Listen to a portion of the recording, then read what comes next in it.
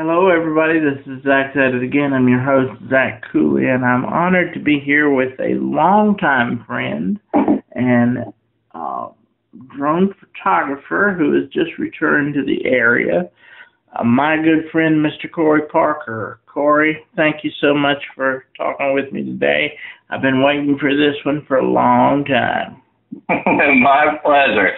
Well, good to good to hear you, and um, good to be on the podcast and give the uh, the general public a little bit of knowledge about uh, myself, my business, and a little bit where the uh, the industry is headed and some of the rules and regu- regulations regarding that. So feel free to go ahead and take it away there, Zach. Well, we're gonna get right into it, uh, but uh, before we do, I just want to mention that uh, you and I have known each other a long, long time, and uh, I have and I have always had tremendous uh, respect for you and your talent, and you've always been a very kind uh, friend, and it's uh, and it means a lot to me to uh, reconnect with you uh, now that you're back in town with your lovely new bride, who is also uh, someone I've had the pleasure of knowing for a long time. Um, Mary, Go- the former Mary Gordon Jennings.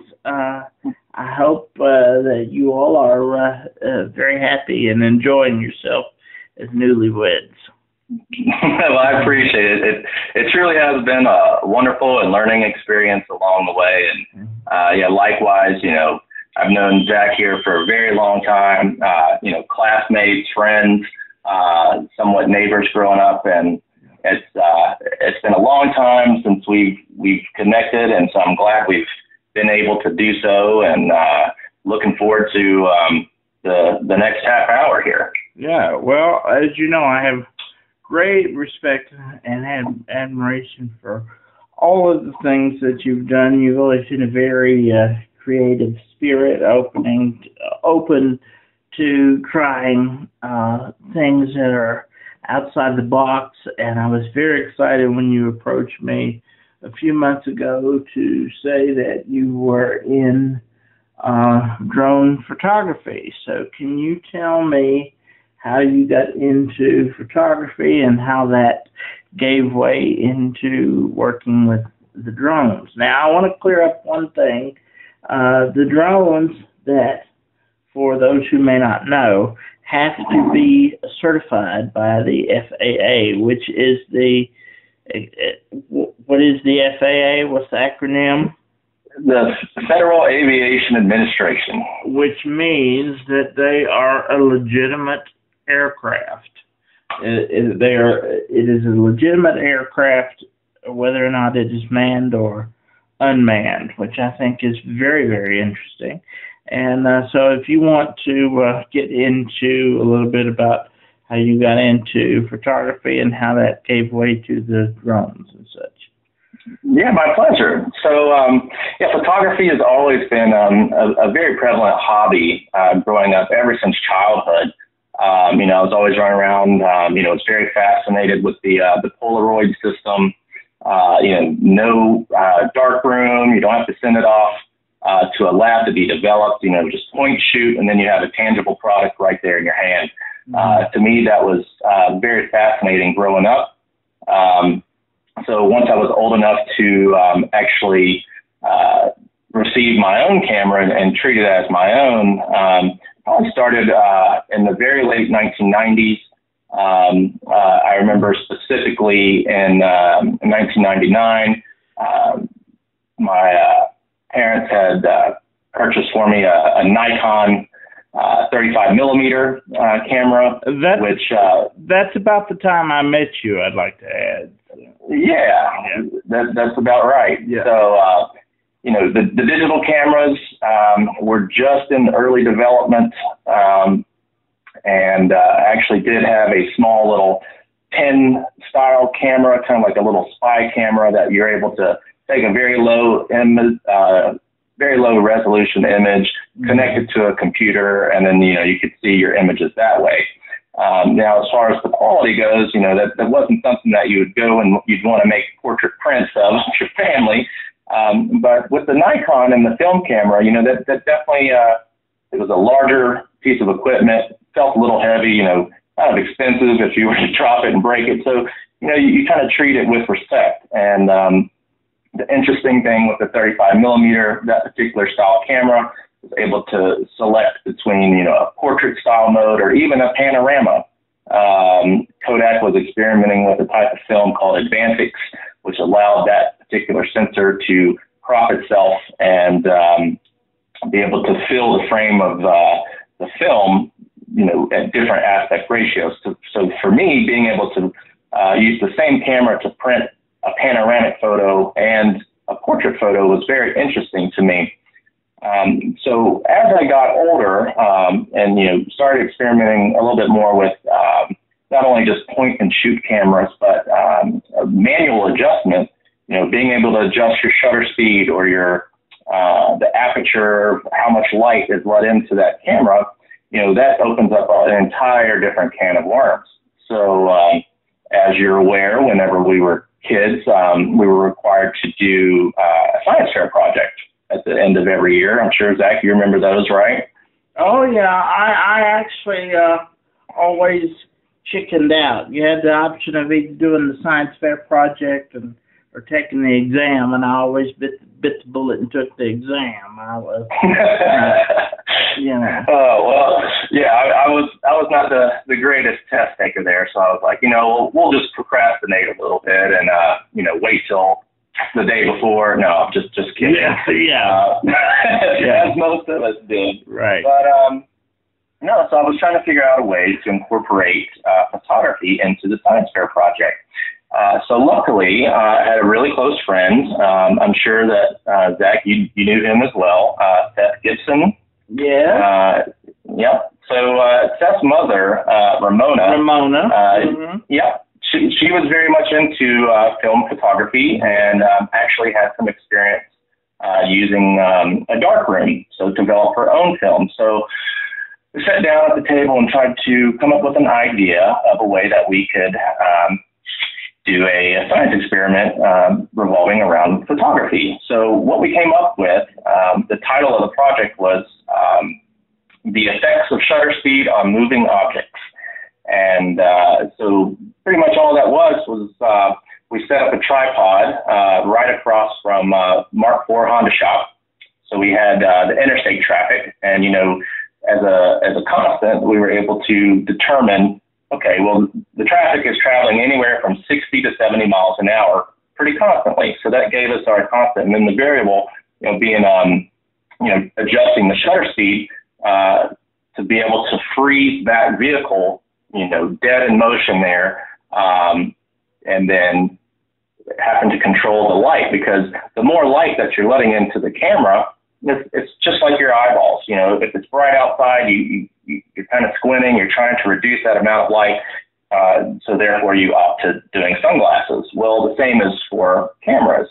The the faster that shutter speed is, the more uh, the less light is to enter in. So if you have a very fast shutter speed that we're trying to freeze these cars, you must change that amount of light that's going into the camera known as an f-stop or an aperture setting. So um, anyway, did a did the science fair project and actually wound up taking first place with that. I'm trying to remember. I believe that was my sophomore year. Um, and the funny thing is, I just recently came across that poster board uh, in my my parents' closet, so I have it sitting here. So in the near future, I'll have to go by Ramona's and and uh, see if she remembers us setting up on the side of the service road for an afternoon, just taking picture after picture um, and then, of course, you know, we'd have to wait for the, those images to develop, and time was of the essence. So we were just, you know, fingers crossed, making sure that, you know, the film was loaded correctly and we didn't overexpose. And, but uh, everything worked out great. And, um, you know, I was very surprised that that particular uh, project took first place. So uh, ever since then, you know, I was like, man, I, I might have something going on here. So, um, you know, I, I really didn't think about, you know, turning it into a business until, you know, two decades later. Right. And, uh, you know, took a little hiatus uh, from photography, got very involved in sports, action sports, and um, kind of put the camera uh, down, you know, just because we have a we have a camera in our cell phones now that you know, can take incredible pictures. Mhm. So, um, but you know, when you show up to uh, an event and you're taking pictures with a cell phone, sometimes people get a little like, wait a minute, who did we hire here? So Right. it kind of got me think, thinking a little bit differently as far as being able to to you to take that hobby and all of the equipment acquired and um, not only make it a business, but to be able to share those moments and memories captured um, with friends, family, and um, strangers alike. So um, there's some there's a big satisfaction uh, with me whenever you you know you, you print a photograph and you hand it to the customer or the client and you know the, they just get teary eyed because maybe the family members have have since passed or um, you know the the family hasn't been together in a very long time. It creates these emotional moments for not only the the client but but as me uh, being the photographer as well. So to me, it, it, it's not about uh, the money at all. It, it's really about sharing those captured moments and memories with uh, those people, and and to me, that's that's really what it's all about. And um, so to to move along uh, uh, with the timeline as far as uh, my photography career, um, I was able to visit New York City uh, in 2000 um, before uh, 9/11 happened, and was able to take a wonderful photograph. It was just so happened to be the last roll uh, or the last frame on the roll, and uh, we were on a boat uh, to Ellis Island. Um, so I was able to capture the Statue of Liberty. I've actually I've actually t- taken that boat. That's amazing. That's an, Mhm. an amazing journey just- from New Jersey to New York and back again. Right, you know, and you're you're outside of the boat. You know, it's it's blowing everywhere. You're elbow to elbow, and you know, just so happened I was like, well, have one more frame left left. Let's see if we can grab that moment. And sure enough, uh, we did. And uh, you know, of course, weeks later, didn't know that until the the images were developed. And um, you know, still have that image today, and uh, have sold quite a bit of copies of it. Uh, and you know, unfortunately, those those two towers are no longer there. So you know, that's a that's a bit of history that I, I captured and will be able to hold on to forever. So. Um, you know, my mother was like, you know, you should really think about, uh, you know, becoming a photographer. And like, well, you know, I have a bunch of other hobbies and there's so many other photographers out there. And I just kind of, you know, downplayed it just a little bit. So, um, you know, it wasn't until uh, the pandemic when I was like, you know, there's nothing, you know, we can't do anything outside. Uh, I'm going to do some homework and some research and, um, you know, maybe get a little bit, uh, invest a little bit into some equipment and uh, we'll, we'll start up an LLC. And, and, and sure enough, that's what happened and it, it took right off. I was involved in food and beverage for about 15 years prior. And, uh, you know, I was just like, you know, the, with the pandemic and everything changing, uh, I said, you know what, let's, let's drop that and become a, a young entrepreneur and, and see where that takes me. And I'm, I'm very glad I did. It has been a very liberating experience. And, uh, you know, I've hit the ground running and, you know, no, no looking back there. So that's kind of a, a brief history as far as uh, my photography goes. So, Well, and then, and then how do you transfer from that to drones? okay, so in 2016, uh, the first consumer drone uh, was available on the market, and um, you know that uh, that technology was uh, had already been utilized within the you know the government and private sector. Um, and it took a lot of time uh, for the FAA and other lawmakers to be able to, to make that a consumer-based product. Uh, so at that time, uh, the technology was very expensive. Um, there was little known uh, legalities about that, and it was kind of a, a scary thing if you were a business owner. Um, you know, flying recreationally and flying uh, for compensation is a completely different ballgame. Correct. Um, so, uh, you know, I've always been um, very focused on uh, aviation and uh, avionics. You know, loved flying in an airplane as a kid. Um, you know, something about the, the aircraft just fascinate me, being able to get that bird's eye view. So it wasn't until, um, So have you flown a plane? I have not flown a plane. No, that is definitely on the bucket list. Okay. But uh, been passenger on quite a few of them. Um, you know, been in uh, some helicopters, um, things like that. But no, I haven't had the pleasure of actually, uh, you know, going up with a pilot and being able to take the sticks. Uh, so that is definitely on the bucket list, and there are some uh, some local uh, airfields that do offer that type of uh, that type of service. So you know, hmm, you know, now you got me thinking, Zach. I might just have to uh, give myself an early birthday present there and and take advantage of that. Uh, yeah. that that that totally kind of left my mind. It's like, oh, I do have that option, and I kind of forgot and about I, that. And I'd love to be there to kind of capture the memory if that doesn't happen. All right. Well, uh, sign us both up. Let let let's do it. yeah, I'm I'm ready. Um, so let me back up just a little bit here. That uh, science fair that you won your sophomore year would have been my junior year. Was that in Kelly Russell's class? That would have been yes. So we were. That was I was in that class with you. Mm-hmm. I was I was actually in that class with you. So uh, That's just, right. just wanted to clarify that. Yes. um, we were. And uh, then I saw you. Um, I look. I don't know how long it was um, that I saw you. I don't know if it was prior to the pandemic or if it was just maybe a couple of years ago, but you were living in Colorado, I believe. That's correct. In ski country, and you happened to be in, and uh, I was uh, at the visitor center where your mother worked, and he and she said she flagged me down and said, "Hey, Cory's back here," and that's the that's the first time I'd seen you since high school. So it was great to see you and you said, you know, that you and MG were getting married, and I had no idea that you would be back here. And then very soon after that, you contact you contacted me that uh, you were coming back with the drone business. So tell me about your current business, uh, Mountain MountainCAP, right? Yep, MountainCAP Media. That's, that's correct. So. Um, right yeah, so uh, MountainCAP Media, the the name uh, came about. You know, I, I did live in Colorado for about six years, and um, you know, I have a, a love and passion for the mountains. Um, you know, I've, I've been a, a diehard skier uh, for for many many years since I was eight years old, I believe. So I, I definitely have a fascination with those mountain peaks. And um, you know that was the first half of uh, the name, and then the cap is literally my initials. So, you know, you have mountaintops and you have mountain caps.